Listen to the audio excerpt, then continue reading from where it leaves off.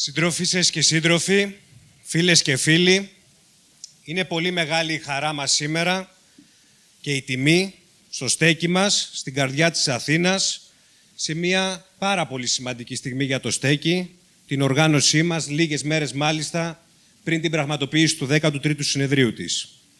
Εδώ, σε αυτόν τον χώρο, πριν περίπου δύο χρόνια, όταν και το στέκι συμπλήρωνε τα πέντε χρόνια λειτουργίας του, πραγματοποιήσαμε εκδήλωση αφιερωμένη στο μεγάλο συνθέτη και αγαπημένο δημιουργό όλων μας Μάνο Λοΐζο, με αφορμή την προσφορά εκ μέρους της κόρης του Μυρσίνη στο στέκι των μουσικών του οργάνων.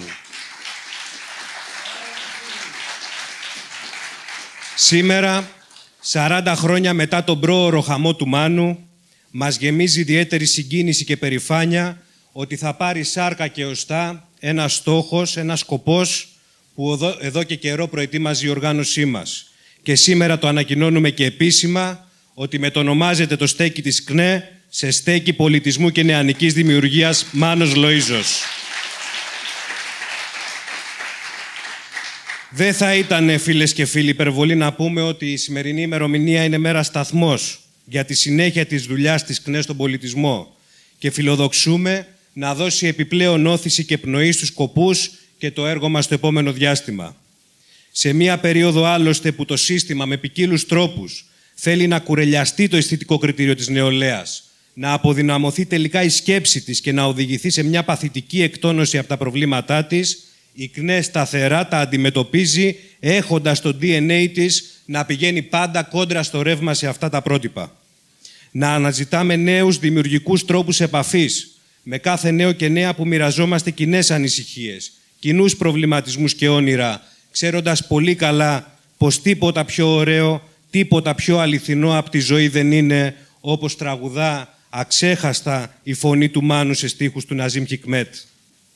Απέναντι λοιπόν στη μυρολατρεία, στη λογική «Ο θάνατός σου η ζωή μου», απέναντι στη λογική ότι η τέχνη είναι έξω από την κοινωνία και ότι η στράτευση του δημιουργού με τους αγώνες και τα βάσανα του λαού μειώνει την καλλιτεχνική αξία του έργου, ότι τάχα είναι αυτό παλιό και ξεπερασμένο, την απάντηση την έχει ήδη δώσει ο ίδιος ο Μάνος Λοΐζος. Έλεγε «Αναζητούσα πάντοτε ποίηματα με έντονο κοινωνικό περιεχόμενο και προβλήματα σύγχρονα. Σαν καλλιτέχνης είμαι ένας δέκτης, ευαίσθητος δέκτης, γεγονότων και καταστάσεων που ζούμε καθημερινά όλοι μας, όπως είναι οι αγώνες του λαού μας, ο αγώνας της εργατικής τάξης για το μεροκάματο, για καλύτερες συνθήκες ζωής, για την ελευθερία, τη δημοκρατία. Από πολύ μικρό είδα, συνέχιζε, παιδιά, να πεινάνε και θεώρησα υποχρέωσή μου να μην το ξεχάσω ποτέ αυτό. Να κάνω ό,τι μπορώ με την τέχνη μου για να λείψει αυτή η δυστυχία. Αυτά είναι τα ιδανικά που φλόγησαν το έργο του Μάνου και υπήρξαν η πηγή της έμπνευσής του. Μιας έμπνευσης πηγαίας, γνήσιας, ατόφιας, για την οποία έχουν μιλήσει πολλοί σπουδαίοι πνευματικοί άνθρωποι του τόπου, όπως ο Γιάννης Ρίτσος και ο Μίκης Θεοδωράκης, που είχαν εκφραστεί με άκρος θερμά λόγια. Έλεγε, για παράδειγμα, ο Μίκης Θεοδωράκης για το Μάνο, το ελληνικό τραγούδι του οφείλει μια ξεχωριστή, μοναδική και ανεπανάληπτη εποχή νεότητας που δεν γερνά και δεν περνά. Αντίθετα, θα αναγεννιέται κάθε φορά που θα συναντά τη ζωντανή ευαισθησία της ανθρώπινης καρδιάς. Ήταν η περηφάνεια μου, έλεγε, γιατί μπόρεσε με έναν επέστητο χαμόγελο και ένα τραγούδι να πάει μια πύχη πιο πέρα από τον ορίζοντα. Και πράγματι, όλη η μουσική του διαδρομή ρίζωσε βαθιά στη σύγχρονη μουσική μας παράδοση. Ζυμώθηκε με τους καημούς, τις ελπίδες και τα όνειρα του λαού μας. Από τα πρώτα του βήματα ως παιδί και έφηβος, το πρώτο κομμάτι που μελοποίησε σε ποίηση Λόρκα και μετάφραση Γκάτσου, από την πρώτη του συναυλία στο Ακροπόλ μέχρι και τις βραδιές που σιγοτραγουδούσαν κρυφά τις μελωδίες τους στις μπουά της πλάκας, αλλά και τη σύλληψή του από την ασφάλεια την περίοδο της Χούντας, ο Μάνος Λοΐζος υπήρξε ένα πνεύμα πολύπλευρο, αυθεντικό, ανήσυχο, που μας προσέφερε σε όλους εμάς τους νεότερους, από τότε βεβαίως, ένα τόσο πλατή έργο, σε λαϊκούς, ροκ, jazz, blues σκοπούς, με, με καρπούς πότε λυρικά, ερωτικά τρυφερά κομμάτια, πότε μαχητικά, εργατικά πολιτικά τραγούδια. Το τραγούδι του «Ο δρόμος» που έγραψε το 1964 θεωρούσε ότι ήταν το καλύτερό του, γιατί έλεγε αναφέρεται στην περίοδο της κατοχής, αλλά έχει μια εφαρμογή πιο καθολική, σε κάθε περίπτωση που ένας λαός αγωνίζεται για την ελευθερία του. Για το γνωστό κομμάτι Τρίτος Παγκόσμιος, είχε πει ότι μιλάει για τους εργάτες που φτιάχνουν τα τάγκς και ύστερα αυτά τους σκοτώνουν κάτω από τις ερπίστριές τους. Για τη λογοκρισία την οποία αντιπάλεψε μέσα από το έργο του, αλλά και μέσα από τη δράση του μέσα στην Ένωση Μουσικοσυνθετών και Στιχουργών Ελλάδος, της οποίας υπήρξε και ιδρυτικό μέλος και πρόεδρος ένα διάστημα, είχε πει «Εκείνο που ενοχλεί τους λογοκριτές μας είναι η στίχη, το περιεχόμενό τους, η αναφορά τους σε κοινωνικά προβλήματα. Αυτός ήταν ο Μάνος Λοΐζος. Το βιολί που σε ηλικία 14 ετών του αγόρασε ο πατέρας του, η αγαπημένη κιθάρα, αλλά και το πιάνο του, δεν κοσμούν απλά σήμερα το στέκι μας, αλλά ανασταίνουν το όνειρό του. Συναντιούνται με το μεράκι, την όρεξη, τη συντροφικότητα, την αυταπάρνηση μελών και φίλων της ΚΝΕ, που με τις καθημερινές δραστηριότητες που φιλοξενούνται σε αυτόν τον όμορφο χώρο, τον μετατρέπουν σε κυριολεκτικό πολιτιστικό μελίσι, γεγονός που νομίζουμε ότι και τον ίδιο το Μάνο θα τον γέμιζε με χαρά. Ο Μάνος Λοΐζος δεν λείπει σήμερα. Εξακολουθεί να είναι παρόν με το χαρακτηριστικό του χαμόγελο και την πραότητά του.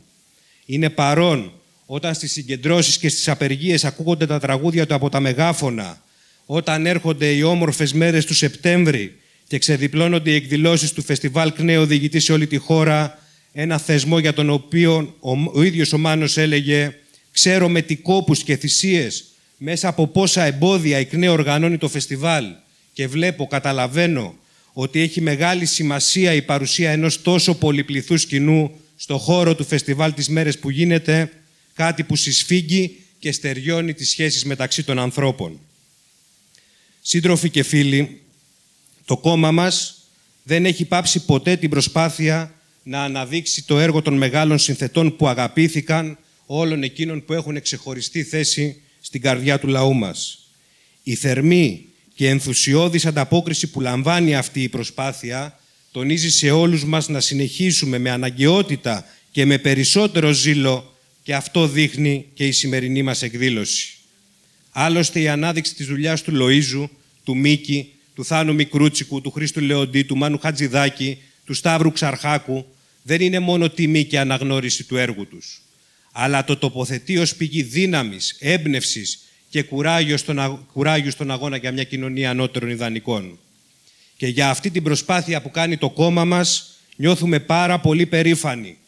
Όχι μόνο για την αναγκαιότητα να αναδειχθεί το έργο των σπουδαίων δημιουργών, ιδιαίτερα στη νέα γενιά και να μένει στην επιφάνεια για πάντα, αλλά γιατί, και αυτό ίσως είναι το πιο σημαντικό, βλέπουμε στα πρόσωπα των χιλιάδων ανθρώπων που κατακλείζουν τα στάδια των συναυλιών μας, των φεστιβάλ μας, τη λαχτάρα τους, να τραγουδούν τις αγωνίες και τα βάσανά τους. Παρατηρούμε στα μάτια τους τον πόθο να μην σβήσει η σπίθα που μεγάλωσε γενιές και γενιές και την ανάγκη να, μεταλαμπε... να μεταλαμπαδευτεί αυτή η σπίθα στις επόμενες και συγκινούμαστε από την ανταπόκριση και το αίσθημα ψυχικής ανάτασης που πλημμυρίζει κάθε γωνιά των εκδηλώσεών μας. Άλλωστε δεν υπάρχει μέλος της ΚΝΕ που να μην έχει σιγοτραγουδήσει τα τραγούδια του Μάνου Λοΐζου. Δεν υπάρχει νεαρός μας σύντροφος που να μην του έχει κολλήσει η μελωδία από κάποια σπουδαία δημιουργία του. Δεν υπάρχει στιγμή που η οργάνωσή μας δεν βάδισε στο δρόμο για να γράψει τη δική της ιστορία χωρίς να συνοδεύεται αυτή με τη δική του μουσική. Δεν μπορούμε να φανταστούμε λοιπόν σπουδαιότερη τιμή για τον καλλιτέχνη που όλο του το είναι δόθηκε σε αυτόν τον σκοπό. Στις θέσεις του 13ου συνεδρίου της ΚΝΕΜ αναφέρουμε ότι ο πολιτισμός αποτελεί διαχρονικά ένα συστατικό στοιχείο ενασχόλησης για την ΚΝΕ. Η δραστηριότητα που αναπτύσσεται στα στέκια πολιτισμού και νεανικής δημιουργίας της οργάνωσής μας, στέκια που εκτιμάμε και είναι μια πραγματικότητα, έχουν πληθύνει, έχουν δυναμώσει την τελευταία τετραετία, αλλά και η αξιοποίηση περισσότερων, υψηλότερου επίπεδου πολιτιστικών μορφών στη δραστηριότητά μας, είναι ορισμένα μόνο από τα μετρήσιμα βήματα που σημειώνει η οργάνωσή μας σε αυτή την προσπάθεια, τη σταθερή ένταξη του πολιτισμού στη μαζική πολιτική παρέμβαση στην νεολαία, που φιλοδοξούμε να είναι πιο στέρεη και να ανοίγει διαρκώς νέους δρόμους. Στα στέκια βρίσκουν σήμερα στέγη δεκάδες καλλιτεχνικές ομάδες.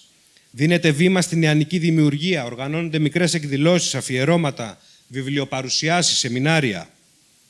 Η ΚΝΕ έχει καταφέρει να δίνει εκεί που υπάρχουν τουλάχιστον στους νέους και τις νέες αυτών των περιοχών μια ξεχωριστή πρόταση για ποιοτική ψυχαγωγία και αξιοποίηση του ελεύθερου χρόνου. Απέναντι λοιπόν στα κυρίαρχα πρότυπα που καλλιεργεί το σύστημα της εκμετάλλευσης για τον τρόπο ζωής της νεολαίας, απέναντι στα πιο σάπια και δυσόδη δανεικά του ατομισμού, του ρατσισμού, της ναρκοκουλτούρας, της εμπορευματοποίησης του σώματος, η ΚΝΕ καλεί κάθε νέο και νέα που ασφιχτιά από αυτή την κατάσταση να διαλέξει τον μόνο όμορφο δρόμο, το δρόμο του καθημερινού αγώνα και να αντλεί ο καθένας από τη δύναμη των πολλών για να χαθεί μες στις σκιές του όλος ο κόσμος ο παλιός. Φίλες και φίλοι, θέλουμε αξιοποιώντας και το σημερινό βήμα να καλέσουμε κάθε νέο και νέα που προβληματίζεται από όλη αυτή την κατάσταση. Να τον καλέσουμε να δώσει τη δική του μαχητική απάντηση και στο δρόμο αλλά και στην κάλπη. Ας κάνει η νέα γενιά αυτό που φοβίζει το σύστημα. Να πάρει πραγματικά τη ζωή στα χέρια της και να δυναμώσει παντού το συλλογικό αγώνα, τη διεκδίκηση, την αλληλεγγύη. Να δίνει μάχες, να μην συμβιβάζεται με τα λίγα γιατί τελικά τα αξίζει όλα. Όπως κάνουν αυτές τις μέρες οι καλλιτέχνες και οι σπουδαστές που ξεπερνώντας τις λογικές των λύσεων από τα πάνω παίρνουν στα χέρια τους την υπόθεση της καλλιτεχνικής εκπαίδευσης και του, της απόσυρσης του απαράδεκτου και γνωστού πια σε όλο το λαό προεδρικού διατάγματος. Και έχει και άλλη μια ευκαιρία η νέα γενιά. Στις επερχόμενες εκλογές να στείλει δυναμικό, αποφασιστικό μήνυμα διεκδίκησης με ψήφο στο ΚΚΕ.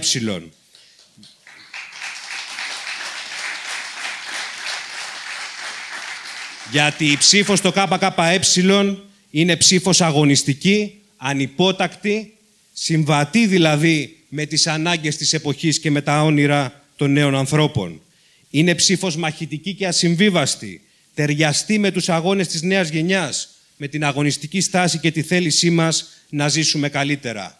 Είναι ψήφος ανατρεπτική και ξεκάθαρη, που δεν μπαίνει στα καλούπια τους, που σπάει τις νόρμες τους, που δεν μπορούν να την ερμηνεύσουν στους στόχους τους, ούτε να τη φέρουν στα μέτρα τους. Μόνο η ψήφος στο κόμμα μας, που δεν μπορεί να ενσωματωθεί σε καμία προσπάθεια αθώωσης και ξεπλήματος του συστήματος, μπορεί να αναζωπυρώσει την πίστη του λαού στη δύναμή του. Μακριά από αυτόκλητους σωτήρες, τέτοιοι άλλωστε, και είναι μεγάλη η πείρα, δεν υπάρχουν για το λαό. Μόνο η ψήφος που αμφισβητεί την κυριαρχία των εκμεταλλευτών μπορεί να μετρήσει ουσιαστικά στο συνολικό αγώνα της νέας γενιάς να ορθώσει ανάστημα και να υπερασπιστεί τη ζωή της. Αυτός ο αγώνας όλη τη ζωή του συγκίνησε και ενέπνευσε το Μάνο Λοΐζο. Και αυτό το έργο, το τόσο πρωτοπόρο, κοινωνικά χρήσιμο, επίκαιρο, έχουμε καθήκον, έτσι το αισθανόμαστε εμείς οι νέες γενιές των κομμουνιστών και κομμουνιστριών, να το διαφυλάξουμε, να το διαδώσουμε και να το προβάλλουμε. Αυτή την υπόσχεση, εν ώψη και του 13ου συνεδρίου της οργάνωσής μας, τη σηματοδοτούμε και με τη σημερινή μετονομασία του στεκιού μας. Ευχαριστούμε για μία φορά ακόμη από καρδιάς τη Μυρσίνη Λοΐζου για όλη τη βοήθεια και την προσφορά εκ μέρους της των μουσικών οργάνων. Ευχαριστούμε το Σωτήρη Τσουκάλη που δούλεψε με πολύ αγάπη και φροντίδα για δύο μήνες για την επισκευή του πιάνου με σεβασμό στο συνθέτη και με προσπάθεια να προσεγγίζει το όργανο τον αρχικό του ήχο για να μπορέσουν να φτάσουν και σήμερα στην εκδήλωση που έχουμε μετά το μουσικό πρόγραμμα στα αυτιά μας οι μελωδίες του Μάνου όπως ο ίδιος τις άκουγε και τις επεξεργαζόταν. Ευχαριστούμε όλους τους συνεργάτες του Μάνου Λοΐζου που σήμερα θα συμβάλλουν με την προσωπική τους ματιά στην εκδήλωσή μας. Και βεβαίως τους μουσικούς, το συγκρότημα που στήθηκε για αυτό το σκοπό από την ΚΝΕ και θα μας παρουσιάσει το αφιέρωμα που θα παρακολουθήσετε στη συνέχεια. Καλή διασκέδαση και καλή δύναμη σε όλους και όλες.